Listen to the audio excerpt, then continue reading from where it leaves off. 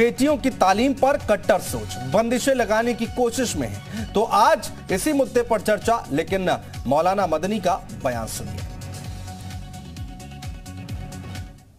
को एजुकेशन से धर्म परिवर्तन को ऊर्जा मिल रही है। अपनी बच्चियों को धर्मांतरण के प्रलोभन से बचाने के लिए हमें अपने शिक्षण संस्थान खोलने ही होंगे। देश में तेज़ी से धर्म त्याग बढ़ रहा है धर्म परिवर्तन का सिलसिला खतरनाक है। ये तमाम फैसले महिलाओं के पक्ष में हो रहे हैं। बच्चों को के एजुकेशन के नाते वो एक अलग तरह का आरोप लगा कर मोदी जी और योगी जी और पार्टी को बदनाम करने का काम कर रहे हैं। मेरी उनसे दरख्वास्त है और मांग है कि आप एक बार इस सिस्टम को समझिए और बच्चों के भविष्य के लिए इस तरह के बयानों से बचें, क्योंकि आज का दौर और है और मदरसों से ना उनको डिग्री मिलती है ना इनको नौकरी मिलती है। वो लगातार अपने ये सत्रह साल से प्रोविज़न स्टोर चला रहे थे और हर दिन आठ से नौ हज़ार का बिज़नेस करते थे। अचानक से ये दोगुना हो गया। जानना चाहते हो कैसे? तो फ्रीडम ऐप को अभी डाउनलोड करें। इसी काम के लिए और एजुकेशन को बदनाम करने का काम कर रहे हैं।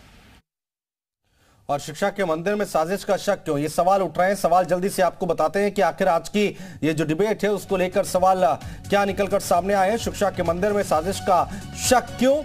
साथ पढ़ने से कन्वर्जन का क्या कनेक्शन है? ये अपने आप में एक बड़ा सवाल है। पाठशाला में साथ पढ़ाई इस्लाम पर मुसीबत आई। ये सवाल उठ रहा है। क्या शरीयत से चलेंगे स्कूल? क्योंकि इस तरह के बयान भी जब सामने आते हैं, उसके बाद बीजेपी की तरफ़ से ज़रूर कहा जाता है कि देश जो है संविधान से चलेगा, ना कि शरीयत से। और हमारे साथ खास मेहमान जुड़ रहे हैं। शमशी आज़ाद जी, नेता भारतीय जनता पार्टी से हमारे साथ जुड़ चुके कौसर हसन मजीदी हैं, अध्यक्ष हैं सूफी खान का एसोसिएशन से आपका स्वागत है। और मौलाना इलियास हमारे साथ जुड़ चुके हैं।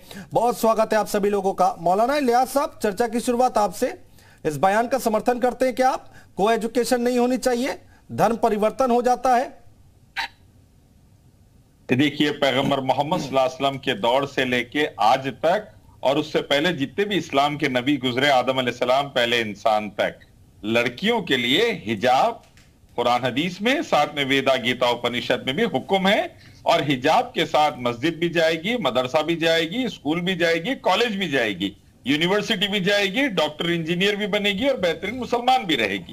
तो औरतों के लिए हिजाब लाजिम है और वो हिजाब का पूरा खुलासा कुरान हदीस के अंदर मौजूद है। तालीम पर रुकावट नहीं है। और खातन की तालीम के साथ साथ लड़कों को भी सही तालीम मिलेगी। तो आज जो भारत ह्यूमन डेवलपमेंट इंडेक्स में, फ्रीडम इंडेक्स में और हंगर इंडेक्स में बिल्कुल नीचे आ गया है और तबाही की तरफ़ जा रहा अनएम्प्लॉयमेंट में क्राइम में हाई हो गया, वो खत्म होगा। सही एजुकेशन हिजाब के साथ और ये पैगंबर मोहम्मद की बीवियों ने भी दिया है आपकी बेटी ने भी दिया है और आज हमारी माँ है मेरी बीवी है मेरी बेटी है मेरी बहन है डॉक्टर एजुकेशनिस्ट वो हाँ, दे रही है। हाँ, तो हिजाब के साथ एजुकेशन नहीं हिजाब के साथ एजुकेशन तो ठीक है जो आप बात कह रहे हैं वो अपनी जगह सही है गलत है वो एक अलग अलहदा मामला है। लेकिन यहाँ पर मदनी साहब कह रहे हैं कि भाई साथ में नहीं पढ़ाना चाहिए को एजुकेशन नहीं होनी चाहिए लड़कियों के लिए अलग व्यवस्था होनी चाहिए। और धर्मांतरण का ज़िक्र किया उन्होंने कि धर्म परिवर्तन इसमें गुंजाइश बढ़ जाती है। एक क्लास के अंदर लड़के लड़कियाँ six seventh eight nine tenth और ट्वेल्थ में तक बैठ रही हैं हम्म। और वहाँ पर हिजाब नहीं है तो यकीनन तबाही आना लाजिम है। आप ये बात कोई भी मेडिकल एसोसिएशन के डॉक्टर से पूछ लीजिए कि किस तरीके से एबॉर्शन के रेट्स बढ़ते जा रहे हैं भारत में। और खास। तौर पर फेस्टिवल्स के आसपास में हम्म। क्या वजह है कि हमारा हिजाब नहीं है क्लासरूम्स में और हॉलीवुड बॉलीवुड ने नंगे गानों के ज़रिए तबाही मचाई हुई है और उसकी वजह से लड़कियाँ तबाही की तरफ़ जा रही है हम्म। तो लड़कियों की हिफाजत के लिए हिजाब लाजिम लड़के लड़कियों का बगैर हिजाब के एक क्लासरूम में बैठना गोया चिन्मय आनंद ने अपनी बेटी को आपका कहना है कि वो बैठ सकती है लेकिन हिजाब पहने आपका कहना है वो साथ बैठ के पढ़ सकते हैं लड़के लड़कियाँ लेकिन वो हिजाब पहने हिजाब के माने ये है आड़ रहनी चाहिए लड़के लड़कियों के बीच में। हाँ। एक तो है कि बुरखा रहना चाहिए हिजाब रहना चाहिए अपने आप को कवर करे। लड़के लड़कियों की तरफ़ ना देख सके और लड़कियाँ लड़कों को ना देख सके। बीच में आड़ रहनी चाहिए। हम्म। उसी को हिजाब। ठीक है कौसर हसन जी हमारे साथ हैं और हमारे साथ अजरा मोबिन जी भी आ चुके हैं सामाजिक कार्यकर्ता हैं। अजरा मोबिन जी कैसे देखा जाए मद्दी साहब के इस बयान को? वो कह रहे को एजुकेशन पर उन्होंने सवाल उठा दिया है। देखिए मद्दी साहब ने आ, किस एंगल से उन्होंने कहा है मैं वो एक आलिम दीन है मैं उनकी बात को काट तो नहीं सकती हूँ और ना भी मैंने उनका बयान पूरा सुना है। हाँ।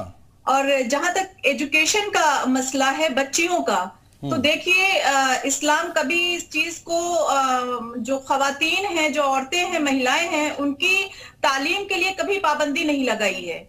और हमेशा हमेश से तालीम को बढ़ावा दिया गया है इस्लाम में भी।